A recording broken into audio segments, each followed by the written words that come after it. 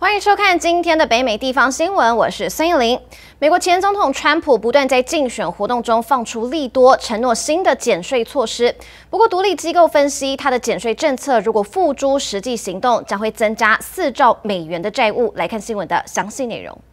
川普在竞选活动中提出多项新的减税措施，其中为了取悦因家庭开支挣扎的选民。包含取消对退休人士的社会安全福利苛征联邦所得税，以及取消对服务业人员的小费课税。另外，他也预计调降企业所得税，从二零一七年推行的百分之二十一降至百分之十五。据非营利组织美国联邦预算问责委员会预估，川普提议的减税措施将导致未来十年美国联邦收入减少近七兆美元。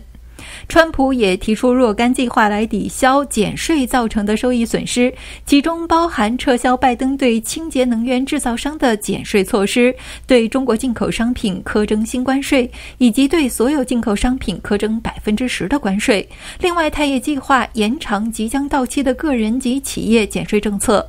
其他分析预测，上述课税措施将为美国带来三兆美元的收入。整体而言，若川普重返白宫，他推动的减税课税措施将导致联邦收入减少约四兆美元。华府对赤字较为鹰派的人士警告，若赤字加速恶化，恐增加经济螺旋式衰退的风险。委员会资深副会长戈温德表示，现在情况更令人担忧，因为整体财政和经济环境比川普及拜登就任前恶化许多。美国国会预算处预期，碍于更多婴儿潮世代退休领取社会安全及医保福利，下届美国总统将面临赤字上升的问题。国会预算处预估，就国会及下任总统没有通过任何新的减税或大型支出计划，未来十年美国债务将增加近二十二兆美元。中天中望整理报道。